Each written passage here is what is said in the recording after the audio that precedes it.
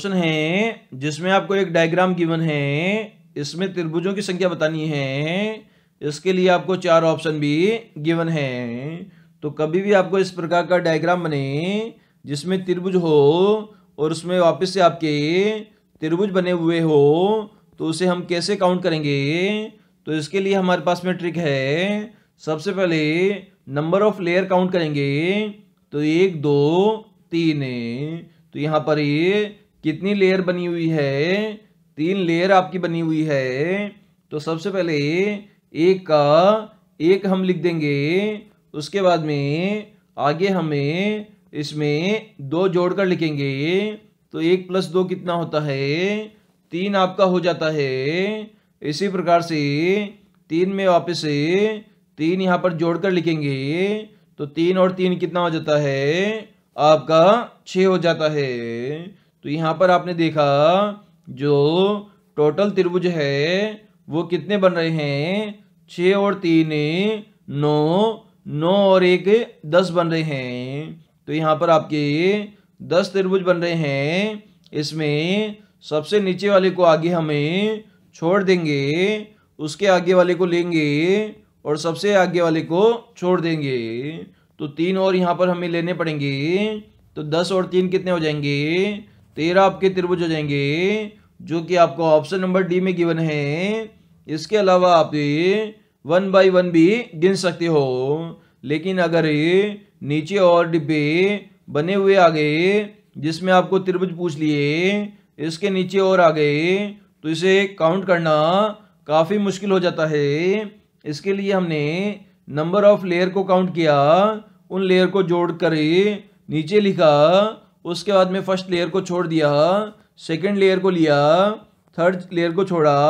अगर यहाँ पर चौथी लेयर होती तो उसे लेकर आपस में जोड़ेंगे तो कुल त्रिभुजों की संख्या हमारी आ जाएगी। इसके अलावा हम काउंट करते हैं, एक, दो, तीन, चार, पाँच छ सात, आठ, नौ। तो नौ त्रिभुज तो आपके यहाँ पर देख सकते हैं, आ गए हैं छोटे वाले त्रिभुज। अब हम बात करते हैं, यहाँ पर बड़े वाले त्रिभुजों की बात करते हैं तो एक त्रिभुज तो आपका ये वाला बन जाएगा।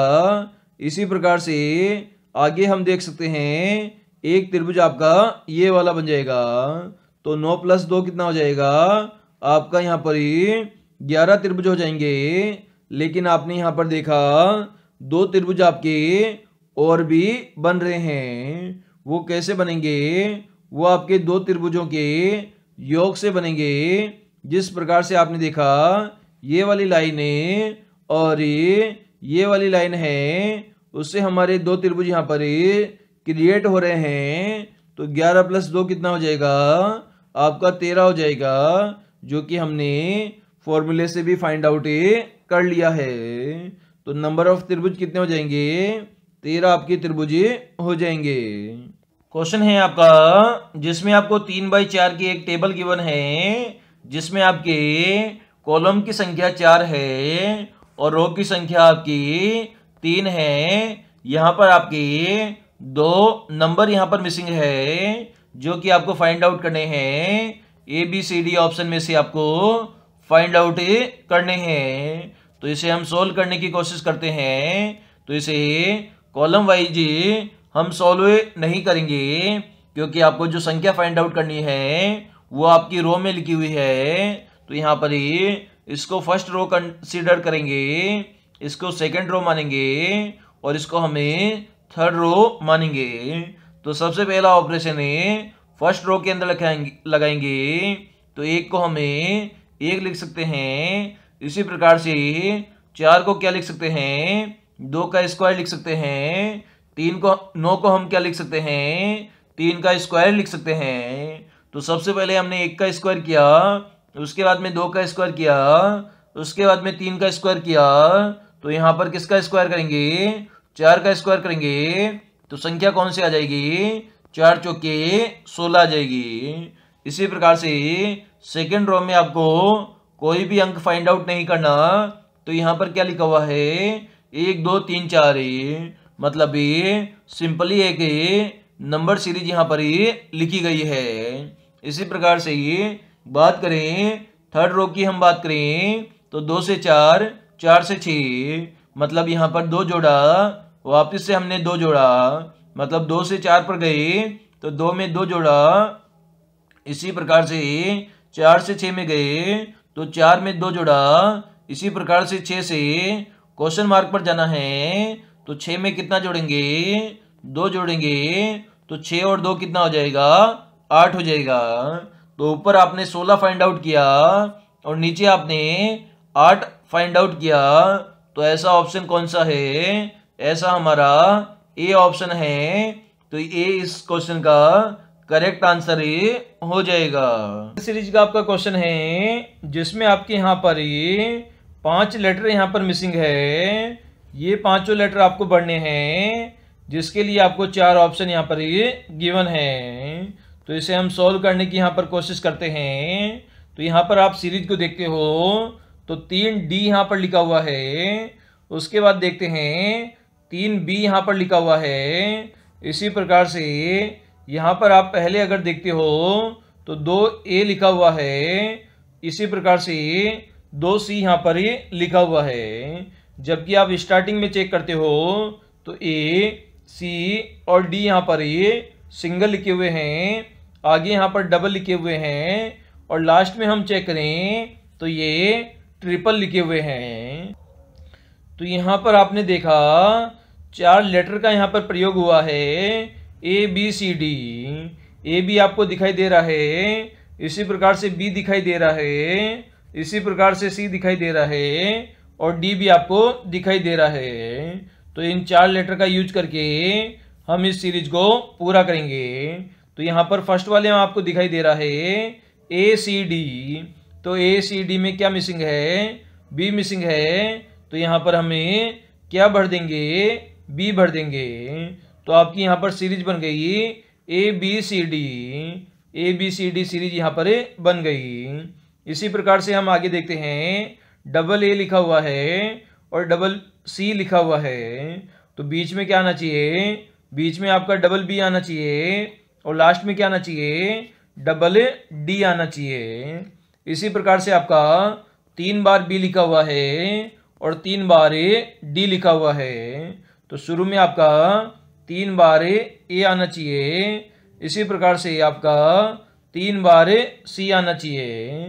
तो यहाँ पर हमने सबसे पहले बी भरा, उसके बाद वापस बी भरा, उसके बाद में हमने डी भरा, उसके बाद में ए भरा और उसके बाद में हमने यहाँ पर सी भरा है, जो कि हमारा चौथे ऑप्शन में यह आंसर हमें गिवन है तो ये इसका आंसर हो जाएगा।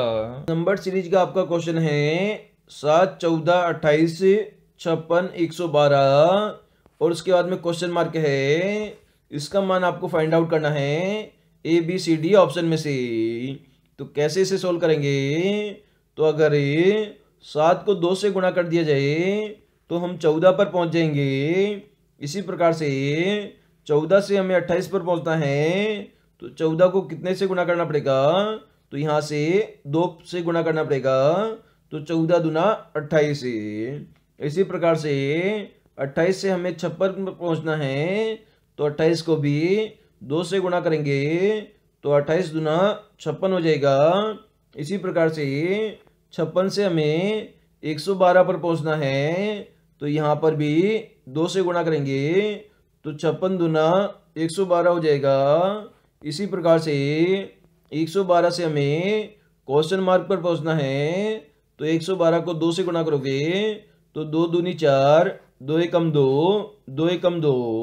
मतलब दो सौ चौबीस आपका आंसर आ जाएगा क्वेश्चन मार्क की जगह पर ही तो यहाँ पर ही बी ऑप्शन आपका करेक्ट हो जाएगा। तो इस सीरीज़ में हमने क्या किया? प्रत्येक संख्या को दो से गुणा करते हुए हम सीरीज़ में आगे बढ़े। इसी प्रकार से 112 को दो से गुणा करने पर दो सौ चौबीस हमारा आंसर आया। क्वेश्चन है आपका, जिसमें आपको बेमेल विकल्प का चयन करना है, इसके लिए ए ऑप्शन है सात सौ इक्यावन बी ऑप्शन सात सौ चौंतीस सी ऑप्शन नौ सौ इक्यासी और डी ऑप्शन है आठ सौ तिरपन आपको गिवन है। तो कभी भी इस प्रकार का क्वेश्चन मिले तो उनमें संख्याओं को इंटरचेंज करके या आपस में जोड़कर या घटाकर हम चेक करेंगे। तो सबसे पहले हम देखते हैं संख्याओं के बारे में। तो सबसे पहले हम चेक करते हैं ए ऑप्शन को चेक करते हैं। तो यहाँ पर सात सौ इक्यावन लिखा हुआ है। बी ऑप्शन में हमारा सात सौ चौंतीस लिखा हुआ है। क्या लिखा हुआ है? सात सौ चौंतीस लिखा हुआ है। अगर सात में से चार को हम घटा दें तो हमें संख्या तीन प्राप्त हो जाएगी। इसी प्रकार से सी ऑप्शन को चेक करते हैं। यहाँ पर हमें पहली संख्या में से तीसरी संख्या को घटा देते हैं तो हमें आठ प्राप्त हो जाएगा। इसी प्रकार से डी ऑप्शन में हम देखते हैं। पहली संख्या में से तीसरी संख्या को घटाने पर हमें बीच वाली संख्या पाँच प्राप्त हो जाती है। लेकिन ए ऑप्शन को हम चेक करें, सात में से एक घटाएँगे तो आपको छः प्राप्त होगा। लेकिन यहाँ पर बीच में पाँच लिखा हुआ है तो ये हमारी डिफरेंट संख्या हो जाएगी ऑप्शन नंबर ए और बाकी सभी संख्याओं में पहली संख्या माइनस तीसरी संख्या है, वो किसके बराबर होती है? वो हमारी दूसरी संख्या के बराबर होती है। इस लॉजिक से हमने इस क्वेश्चन को सोल्व किया है और यहाँ पर हमारा ए बेमेल विकल्प हो जाएगा।